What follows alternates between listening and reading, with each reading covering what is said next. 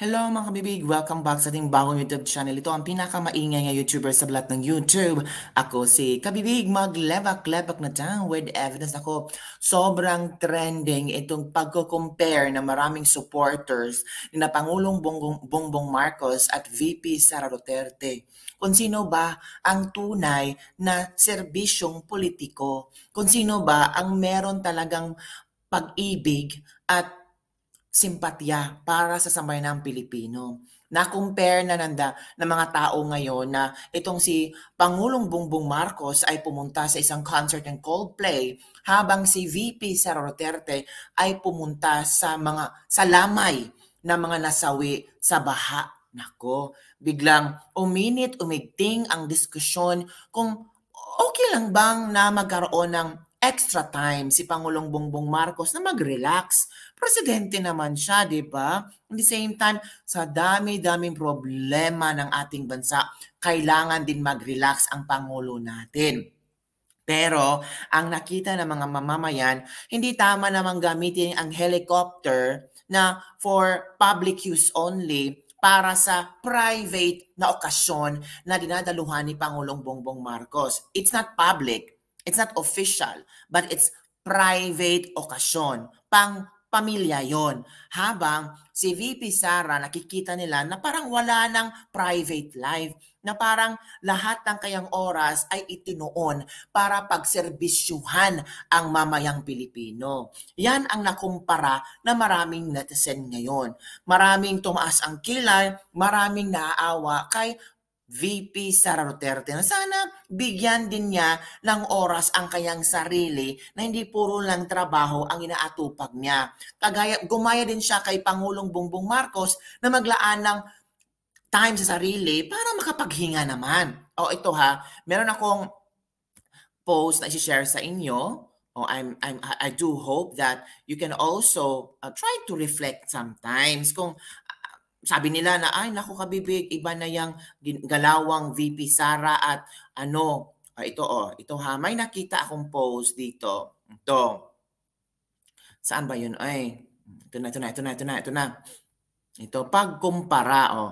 Grabe okay, grabe yung pag-issue sa pagsakay ng chopper ng presidente Oo, caps lock para damang-dama na si Bongbong Marcos ay may titulo na presidente ng Pilipinas ngayon. Naalala niyo pa ba nung binati ko si Sara dahil uwian siya from Manila to Davao nung nagsisimula pa lang siya at gumagamit din siya ng chopper noon. Galit na galit ang dilawan. 'di ba? Pero pinagtanggol din namin siya dahil well, VP siya at suportado siya ng presidente. Anong difference ng pagsakay ni BBM at kay Sara? Eh leisure lang naman daw yung kay BBM. Have you ever thought, saan ba yang galing before going to concert? The president has a full pack schedule, hindi tumitigil ang araw niya pagkatapos ng, ng 8 hours of work. We experienced that nung meet and greet na to be able to meet his supporters, kahit may lakad pa siya, if he, eh, he still find time para kahit paano makasalamuha siya kahit saglit after that nakita lang na lang namin na sa kabilang event na hulaan nyo kung nag-coach lang ba yan to be able to get there in time. It's not being biased dahil sa supportahan si, si PBBM but rather we have to see things behind the scene. Hindi naman yata tulog sa umaga sa ilalim ng kulambo at gising sa gabi para magkaroon ng talk to the people. Mas gustuhin ko na lang na mag-chopper siya kaysa magharang yung mga pulis sa kalye ng Manila at cause ng traffic dahil lang dadaan siya. Ito ha, ito yung picture na kung saan nag-enjoy ng mga ilang oras si Pangulong Bongbong Marcos kasama ang kanyang pa family. Parang it's kinda, ito yung time ng kanyang family na magkausap sila, mag-enjoy sila sa specific event. At least naman, bigyan din natin ng time ang Pangulo mag-relax. Oy, hindi naman pwede siya na uh, atin lang ang Pangulo natin. Ibigay din natin ang time ng ating Pangulo sa pamilya niya. On the other hand naman, mga kabibig, meron din ako nakitang video kung saan pumunta si VP sa Duterte sa mga nasawi sa landslide sa Barangay Union, Mungkayo, Davao de Oro noong last Saturday. Nag-offer siya ng kanyang condolences sa pamilya. Sige, panoorin natin ang kanyang interview. For a while mga kabibig. Sige na ha, panoorin natin. Uh, complementary tayo sa tulong na ibinigay ng local government ng Moncayo sa mga relatives ng mga namatay. Uh, supplementary and complementary din tayo sa tulong uh, ng um, kasi nasa government hospital sila. So kung ano yung mga kulang, pwedeng punuan ng uh, Office of the Vice President Davao Satellite Office. Ang unang-una talaga na advice natin sa mga tao kapag malakas ang ulan hmm. ay uh, preemptive evacuation kung nandoon sila sa hazard prone uh, areas. So yun yung uh, unang-unang advice natin sa kanila.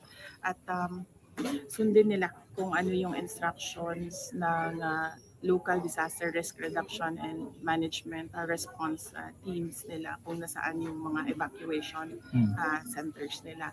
And uh, third is yung ating municipal disaster risk reduction and management council dapat meron silang mapping ng mga areas na likely bumabaha at nagla-landslide kapag malakas ang ulan. Kapag dumadating na yung uh, report kung nasaan yung area at ilan yung mga affected families, um, nagbibigay ng uh, relief uh, operations ang Office of the Vice President Davao Satellite Office and yes, apektado din even doon sa Davao City, meron ding namatay dahil sa landslide. Okay, so yun ha mga kabibig, nagsalita na rin si VP Sara tungkol sa nangyari sa Davao. Kasi maraming nasasabi na wala daw ginawa ang Office of the Vice President. Puro na lang daw pa-epal ang ginawa ni VP Sara. Huwag kayong ganyan may ginagawa din ng ating VP at apektado rin ang Office of the Vice President sa Davao nang dahil sa baha. And we cannot control the baha because it's natural disaster. Natural disaster, kabibig? Hindi natural disaster, kabibig. Kasalanan yan ng mga Davaoenos kasalanan niya ng mga politiko sa Davao. Well, it's up to you on how you able to uh, perceive, on how you able to interpret the situation right now. Okay? So, ano sa palagay niyo mga kabibig? Ang dami na kasing mga ano nagsilabasan ngayon na sana si PBBM hindi na lang pumunta sa Coldplay concert. Sana uh, natulog na lang siya, nag-relax na lang siya, or nag-dinner sila kasama ang family, banding nila, or magbuot na mo ni Pangulong Bongbong Marcos na kailang banding ay manood ng Coldplay concert at sumaka sila ng chopper.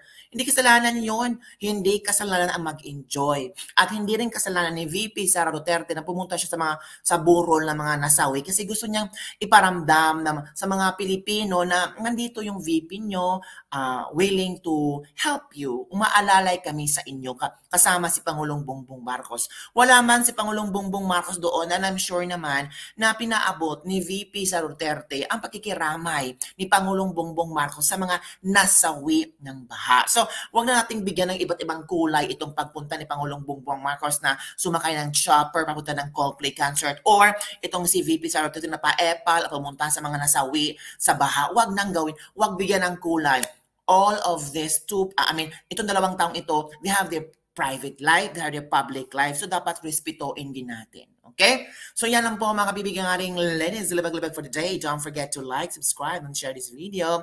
Bye, everyone. Thank you for watching. Bye-bye. Oy, wag ka nang bitter dyan. Ha? Move on na, ha? Kalma lang. Kalma lang talaga, ha? Suportahan natin ating gobyerno. Bye!